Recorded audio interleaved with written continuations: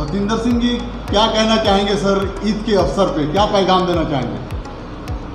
सबसे पहले रमज़ान का महीना है और इस महीना जो है पवित्र महीना है और जो भी हमारे मुस्लिम भाई रोज़ा रखे हैं, रोज़ा पूरा होने के बाद ईद आएगा तो उनको जो है आगाम ईद का जो है मुबारकबाद देता हूँ। और हम लोग जिस राज्य में रहते हैं, पश्चिम बंगाल में, यहाँ हिंदू, मुस्लिम हम लोग आपस में भाई भाई की तरह रहते हैं और जब भी इनका ईद होता है, हम लोग ईद में शामिल होते हैं। और यहाँ पर यदि हम लोग का रामनवमी होता है, हनुमान जयंती होता है तो मुस्लिम भाई भी शामिल होते हैं। तो ये तो पश्चिम बंगाल जो है, पूरे भारतवर्ष में एक जो है नमूना राज्य है, जहाँ की हिंदू, मुस्लिम, सिख, ईसाई आपस में सब एक रहते हैं। और हमारे सुप्रीमो ममता बनर्जी, हमारे डायमंड हार्बर के एमपी अभिषेक बनर्जी, इनका भी हम लोग का आदेश रहता है कि जो भी हमारे काउंसलर हैं एमएलए हैं, आप लोग जो है सभी को भाई के तरह, सभी का उत्सव बराबर है, चाहे वो हिंदू हो, मुस्लिम हो, सिख हो, ईसाई हो। तो हम लोग आशा करते हैं कि जो ईद आने वाला है, हम लोग बहुत खुशी से मनाएँगे। और हम लोग भी जो मस्जिद में हमारे ईद के दिन नमाज़ पढ़ते हैं, उनको जाकर हम लोग गुलाब का फूल देते हैं और उनको ये हम लोग ये आश्वासन देते हैं कि आप लोग इसी तरह फिर आगे साल जो है, यहाँ पर ईद का नमाज़ पढ़िएगा और हम लोग यहाँ आकर आपके यहाँ शामिल होंगे। सतिंदर सिंह जी, देखा गया है कि सीएम ममता बनर्जी, सेकुलरिज्म की एक मिसाल है। अमन सुकून बंगाल में जिस तरह से कायम है, सीएम सीएम ममता बनर्जी पूरे उनतीस स्टेट में एक पैगाम दे रही हैं और यही वजह है कि बाहर के देश उनको अवार्ड भी दे रहे हैं। तो क्या कहना चाहेंगे डेवलपमेंट को लेते हुए? देखिए, पश्चिम बंगाल के जो सुप्रीमो ममता बनर्जी है, विकास के ऊपर इनको यहाँ पर वोट मिलता है। और उनके जो हम लोग उनके सैनिक हैं, चाहे काउंसलर हो एमएलए हो एमपी हो, सब जो है उनके निर्देश के अनुसार काम करता है। और सबको ये आदेश रहता है ऊपर से कि आप लोग आम जनता के बीच जाइए, जिनका भी कुछ तकलीफ़ है, उनको सुनकर दूर कीजिए। तो हम लोग को जो आदेश है कि हर एक जनता को पीने का पानी होना चाहिए, लाइट का व्यवस्था हो, सड़क अच्छा होना चाहिए, नाला सफ़ाई होना चाहिए।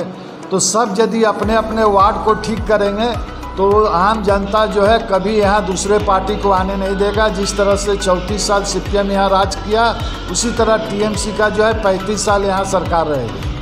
सर वोमेन डेवलपमेंट को लेकर क्या करें जिस तरह से महिला के लिए ममता बनर्जी काम कर रही हैं सबों को लेकर चल रही हैं सभी धार्मिक लोगों को लेकर चल रही हैं उन्होंने कहा भी है कि सब धर्म के लोग अपनी अपनी त्यौहार खुशी से अमन सुकून से मनाएँ। तो कितना बड़ा ये देख रहे हैं सर? ये जो है पश्चिम बंगाल में ही मिलेगा जिससे हम लोग का जो है महिला लोग के लिए लक्की भंडार जिनका उम्र 25 साल से 60 साल तक है, उनको जो है 500 के महीना लक्की भंडार उनके बैंक अकाउंट में आता है। तो उनको जो है एक बहुत बड़ा सहारा मिलता है। ये 500 मिलने से उनको जो है अपने किसी से लड़का हो या लड़की हो लेने का ज़रूरत नहीं होता। वो 500 से कुछ अपने तोहफे के रूप में भी अपने छोटे छोटे बच्चे को देते हैं। तो ये देन ममता बनर्जी का ही है कि यहाँ लक्की भंडार है। दूसरे राज्य में आपको नहीं है।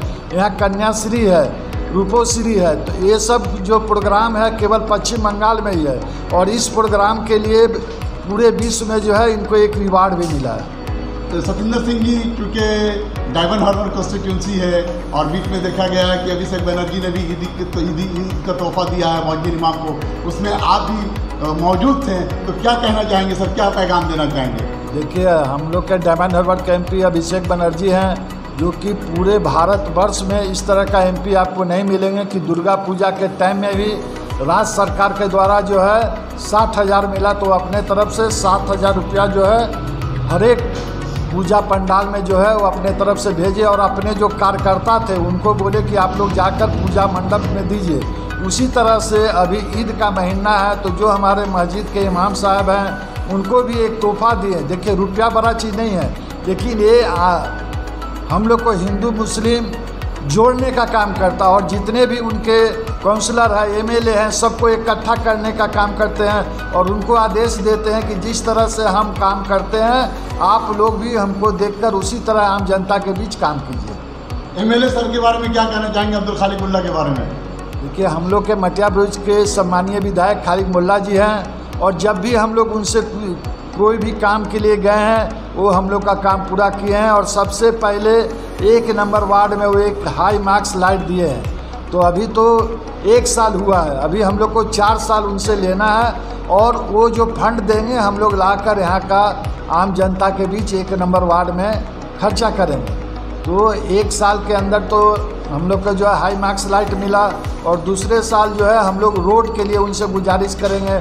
उनसे हम लोग को बहुत आशा रहता है और हम लोग का एक नंबर वार्ड के बारे में हमेशा जो है पूछते रहते हैं और बोलते हैं कोई भी तकलीफ़ होगा आप आकर हमको बताइए। पंचायत इलेक्शन को लेकर आवाम से क्या अपील करना चाहेंगे बंगाल को देखते हुए? देखिए यदि शांति चाहते हैं अमन चैन है तो आप लोग जो है टीएमसी को वोट दीजिएगा।